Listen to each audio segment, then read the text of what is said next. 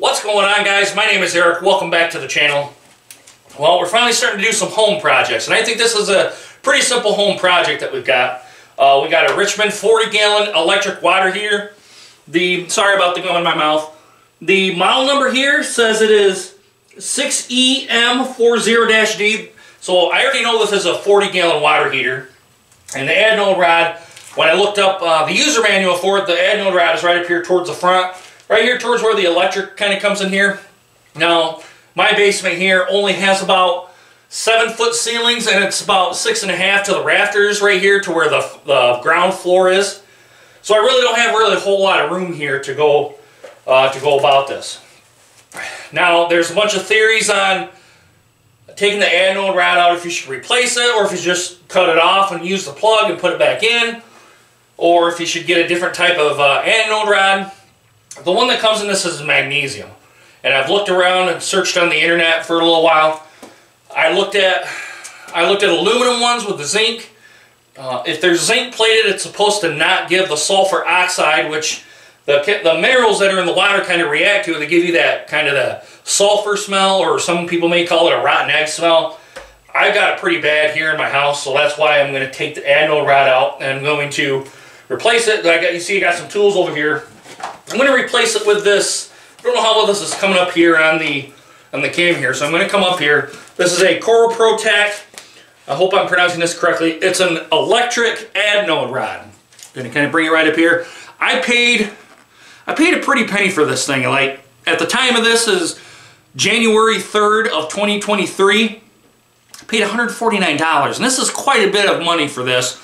You guys know inflation, all that sort of stuff's kind of playing a part here but it's supposed to not, it's supposed to use electricity to interact with the minerals that are in the water heater here instead of using the zinc or the aluminum or the magnesium to attract those minerals and to give off the, uh, the that byproduct, which is car, uh, sulfur monoxide. I think that's what it is, sulfur uh, monoxide. Could be dioxide. I don't really know. I'll put a I'll put a thing up here that gives some kind of sort of description on how all this goes. Um, he goes into a bunch of theory and the science behind how you get that sulfur smell. It's a pretty good read, it, way more than I do. But for this particular Richmond water heater, we're going to go ahead and get this in. So you're going to have this. You can find this right on Amazon. I'll put a link in the description down below if you want to purchase this. I'll have this. Also, I've got some vice grips here um, because I'm thinking here since I've only from I've only got 24 inches of room here. Uh, from the bottom of this floor joist here to here is only 24 inches. So I'm thinking I'm going to have to clamp it on here, grow out. I, I didn't grab a saw here, but we're probably going to have to saw it off and then take the rest of it up and out. But we're going to go ahead and see how this anode rod is. First off, we also have a uh, a DeWalt 1 and 1 16th inch uh, impact driver. Now, I, I bought impacts, and I'll kind of get into this here a little bit a little bit later, but this is one you're going to need to get the anode rod out. And then I also bought a 31 millimeter half inch drive uh, socket here to put for this guy to go back in. This was a 31 millimeter, so you're going to need this to reinstall this back in here. Now, I probably should have brought some uh, some plumber's tape to put on here so water doesn't kind of weep back up and out of the hole here, but I have some here. We'll go ahead and put that back in uh, on the threads. We'll go ahead and put it right back down in here. And also, you're going to need a half inch drive ratchet with a breaker bar, which, again, got to go back outside, get a breaker bar. Last, and certainly not least, is probably the first thing you're going to get is just a flat screwdriver. Um, some a flat-headed screwdriver, not a not a Phillips end, because so because this little plastic thing here, when I bring it up to here, there's a plastic liner in here, you're to have to pop it out and inspect that. So guys, I'm to bring the camera right over here and we'll get started. So, as you guys can see here, here's where the anode rod is. It has a little plastic cover on here, which we're to reuse that plastic cover. But first I'm to have to go ahead and pry this out and it'll expose the nut here so we can get one of those, that 1 and 1 16th inch impact driver, put it on here and to get it out let's go ahead and get started.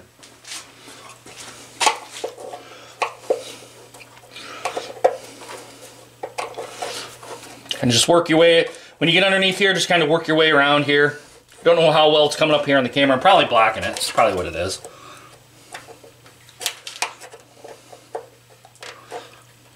Let's see if we can at least start getting it up out of here. All I'm really doing is I'm just working it on here. I'm not really trying to pry anything, trying to break the plastic or anything. Just trying to get it up and out of here. See if we can start breaking this away here.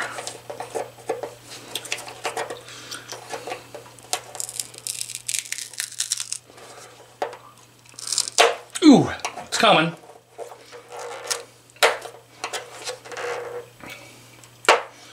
There we go. Now, as you can see, don't be surprised if you see some of this um, packing in here. It's gonna the nuts underneath here. You're just gonna have to chip away at this and expose the nut. But I just seen that I should have shut off my water heater even before I worked on here because I had the possibility of electrocuting myself and come way up here. I got a water shut off here. I probably should have shut the water off here too. So let me do those two things and then we'll kind of get right back into here. All right, shut the electric water heater, cut cut the breaker. Pow, blah, blah, let's try this one more time.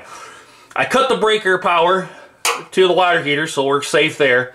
I also, right up here, you, you don't see it here on these kind of, um, these lines here, there's a water shut off valve. I shut the water off to that. Now I'm just going to kind of come in here and kind of pry in here um, to get this out of here so it exposes that nut. See if I can get out of the uh, get out of the light here for you.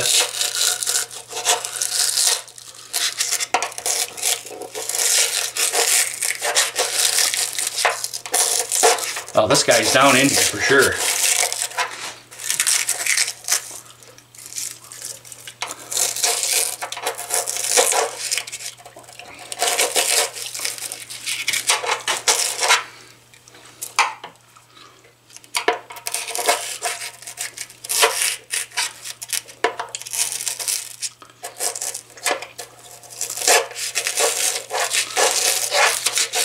Goodness, how far down in this thing goes.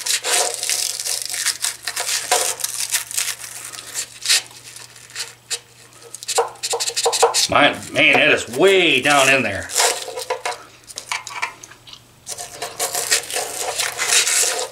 You guys probably aren't going to see the nut.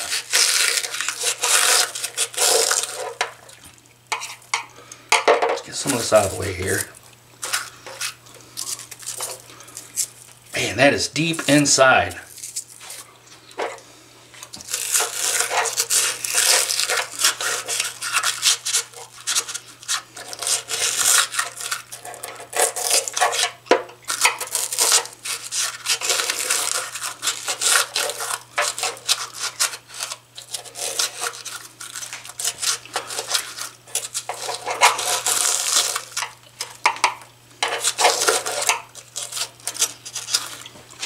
Sorry about getting in the light here, guys. But let me go ahead and get this out of the way here, and then we'll get on from here. Guys, they do not want you to get to this adnode rod. I had to dig through probably three to four inches to get even to the top of the nut. And as you can tell, it's kind of way down in there. But we'll get her out.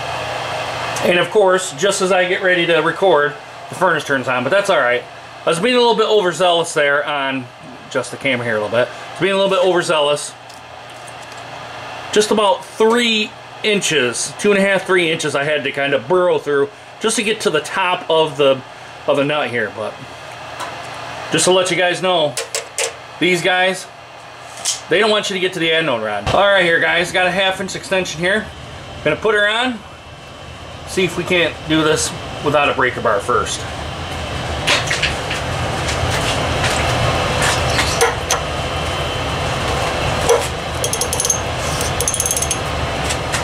Okay, here we go. Man! Ooh! Whoa, buddy.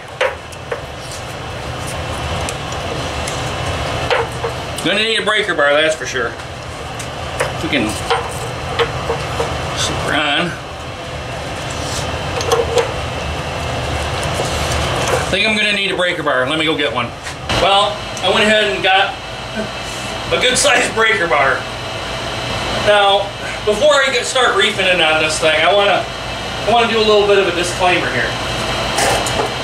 When I looked inside here, it looked like a plastic nut on uh, another plastic something that, that holds the anode rod in here. So I hope with me reefing on this thing, it's not snapping the.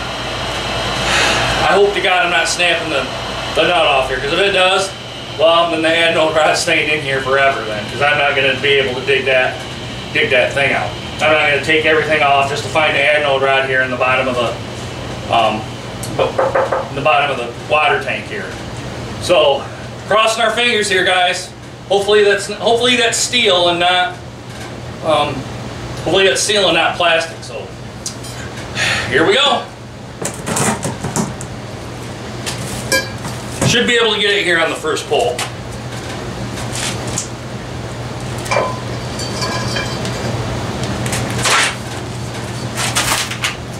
Wow, I'm moving the whole entire tank. Wow. That thing is in there tight.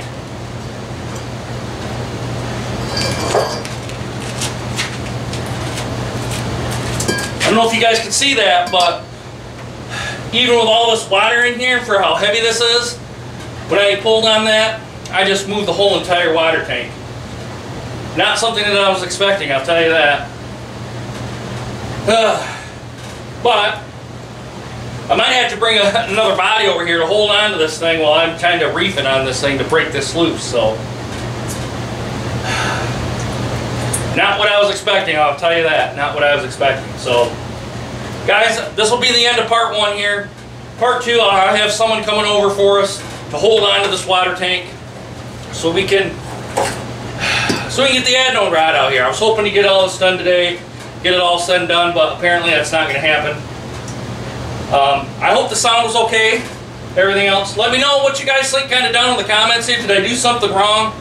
Did I, now I'm kind of yelling here so you guys can pick me up over the, uh, over the furnace, which is right over here.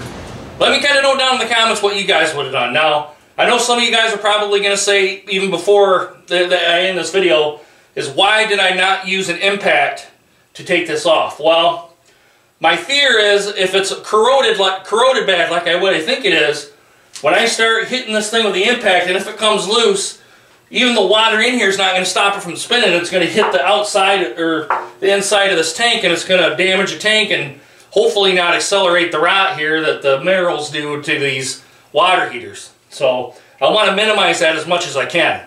Now, do I have an impact? Yes, I do have one, but I'm not going to I'm not to risk damaging the outside of this Richmond water heater um, just to get the anode rod out of here and do the sulfur smell. So I'm gonna go, gonna make a few phone calls, gonna get some help over here. Might be doing it the same day, but for you guys, it'll be a part two. But let me know what you guys kind of think down in the comments. What would you would have done differently? Um, did I do everything correctly? Did I not do something right? Let me know down in the comments, guys. I know you guys will be able to put it. Put a thumbs up if you like this video. Give it a thumbs down if you do not. And also, guys, make sure you hit the subscribe button because you're going to see more videos just like this all over the place. So make sure you hit the notification bell and make sure you hit all so you get all videos from me so you get more videos just like this one. Alright guys, I'll see you in part two. Hope you really guys enjoy this video. Hope to see you guys again soon. Deuces. Take care guys.